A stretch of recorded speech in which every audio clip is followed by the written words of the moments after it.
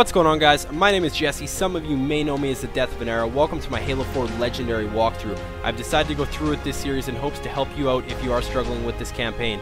I have removed all the cutscenes from all the videos in this series, but be warned, there will be spoilers.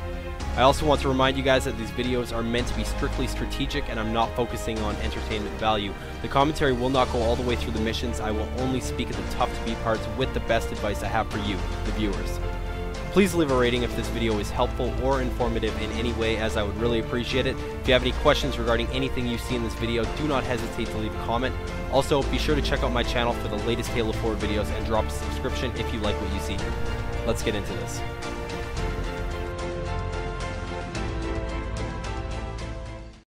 What's going on guys? Death of an Era here. Welcome back to my Halo 4 Legendary walkthrough. I hope it is helping you guys out so far. Welcome to mission number 2, Rally Point Alpha. As you can see right off the bat here, I am fast forwarding. The reason I'm doing this is because it's uh, pretty boring and all you need to do is pretty much run through a cave.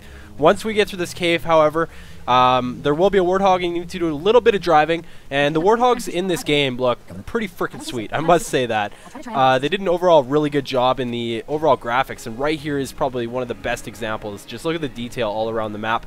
It is unbelievable. Uh, I'm a huge fan. But uh, anyways, just run up here as you see me do. There's going to be a weapon crate on the left-hand side over here. There's going to be a battle rifle in it. Uh, I would encourage you guys to pick this up. It's going to help you out quite a bit in the next few minutes. After you do that, hop in this Warthog, uh, take a little adventure down this road, and I'll be back in a few seconds. Well, as far as I know, I'm the only AI ever generated from living tissue. A clone of Dr. Halsey, to be precise. It may be possible to recompile my neural net by replicating those same conditions. That means getting back to Halsey, soon.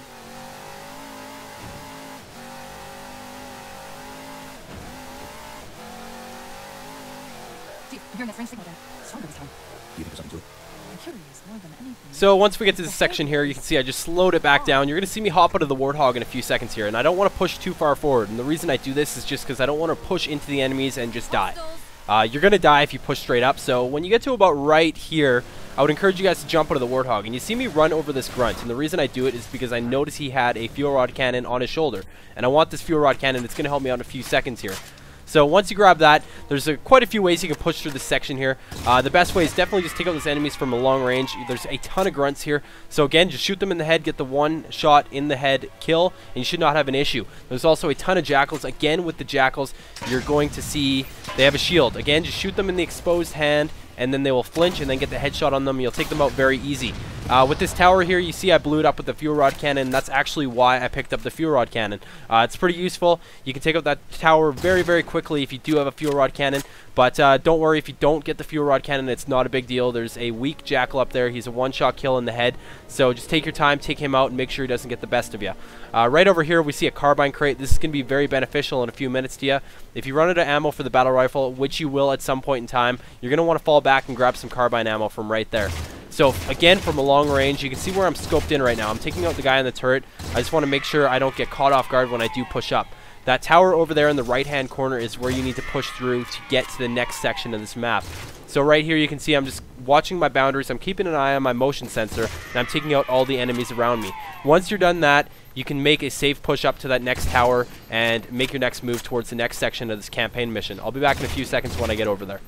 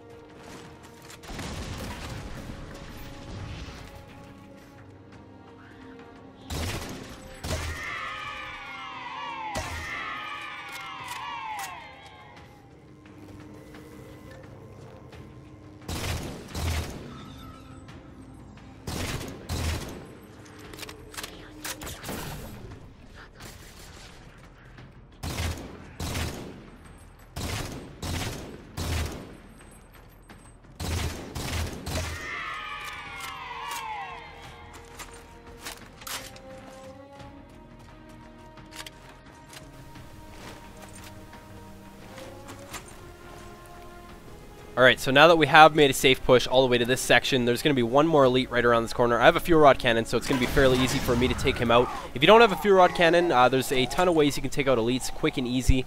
One of the most effective ways would probably have to be with the plasma pistol, a full charge right to the body, and then you can pop him off with one headshot. So that's a uh, pretty straightforward and easy part, so you should not have any difficulties with that.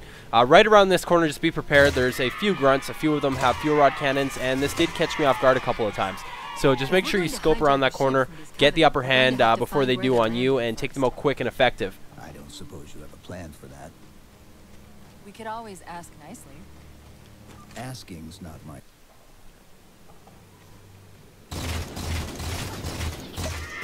So this section, you can see I'm running pretty low on ammo, and you're going to see me turn around. I'm going to actually fast forward this part. I'm going to turn around and go grab some carbine ammo from the carbine crate right at the entrance to the caves here. And the reason I do this is just because I need ammo, and I want a precision rifle to get through these parts. So just remember, there's a ton of ammo crates loaded all around the map, so you just got to kind of keep an eye open for them, and uh, just be aware of where they are. So once that is done, I'm going to push back up here. So there's a few grunts here on the left-hand side. Just keep an eye on them. Make sure they do not shoot you with that fuel rod cannon. So I focus on the little guys first, and you'll see me do this quite a bit throughout the campaign. If there is multiple enemies, let's for example say there's four grunts, two jackals, and an elite. I will focus on the grunts and the jackals before I take out the elite. The reason being is because these guys can be the most powerful. There's multiple of them, and they will shoot you, and they will take advantage of you and basically destroy you if you're caught off guard. So right here you see me scope in, take out the sniper up top. This almost caught me off guard as well. I died a few times from it. So just make sure you drop him. He is the only sniper located on the top there, so that's all you need to worry about. Once the grunts and the jackals are eliminated, you see me just push in and take out the elite there with little to no difficulty. So as long as you're accurate with your precision rifle, those headshots will be beneficial. Again, another alternative is you can pick up a plasma rifle, or a plasma pistol, sorry, get the full charge shot on them, it'll deplete their shields, and you can kill them with one headshot. So moving around this section, I went to the left-hand side here. You can also go to the right. It's really up to you. I just felt more comfortable moving to the left, so I did so. There's a gold elite here. The gold elites are a little bit more powerful, and uh, he almost got the best of me. So I made a pretty aggressive move, I guess you could say here, in taking him out. So I would not recommend rushing in and going for the kills, just because it can catch you off guard, and it most likely will result in a death. But uh, my aim was pretty good there, and I got him out, and I took him out really quickly. So it's all a matter of how you want to go about it. If you want to take your time and be slow and uh, take your time moving around, you should not have an issue. But either way, the gold elites are just a little bit more powerful than the blue elites, so the same rules do apply for taking them out. So you can see I'm scoped in around this corner. There's a few more jack jackals. Again, with them, just shoot them in the hand and get the headshot on them. It'll be the most quick and effective way to take them out. And again, this is why I recommend moving forward with a precision rifle throughout the campaign. If you have an assault rifle at this point in time, you're going to have a pretty difficult time moving past this part and taking out these enemies.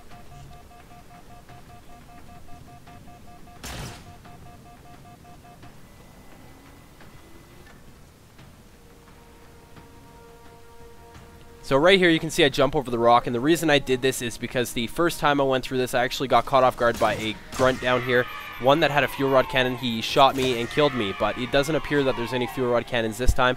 So which, whichever approach you want to take over that rock, I would recommend just jumping it over it so you have a height advantage and then that way you can fall back easy to cover and you won't get caught off guard.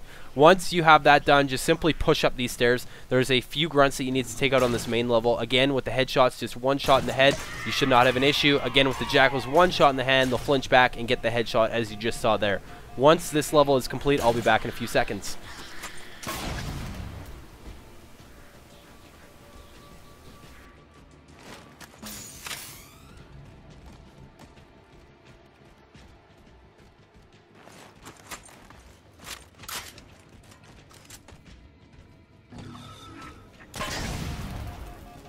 Alright, so once we've taken out those enemies on that level, you're going to notice there's a ramp here, and we just saw a guy with a sword. This is the guy that you need to be most aware of when you're pushing up this section.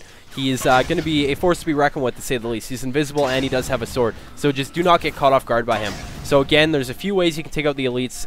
Headshots and the noob combo, or the plasma pistol, and precision rifle combo, whichever way you want to call it. Uh, you can take them out quick and easy like that. I still have a fuel rod cannon, so it's pretty easy for me to get through this part. I take out the jackals with little to no difficulty. After you progress through this part, that pretty much wraps up this rally point. If you want to continue on with my walkthrough, please be sure to hit that annotation in the top right, or go check out my channel for the official playlist, and tune in for the next episode.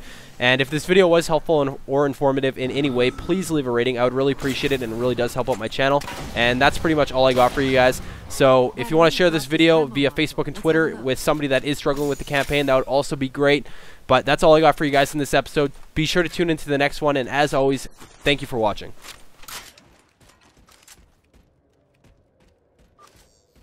I'll run a soft patch to it from the suit. Never know what might come in handy.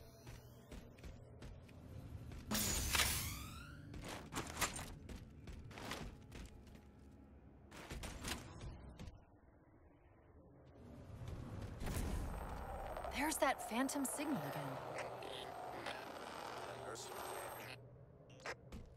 I heard something that time.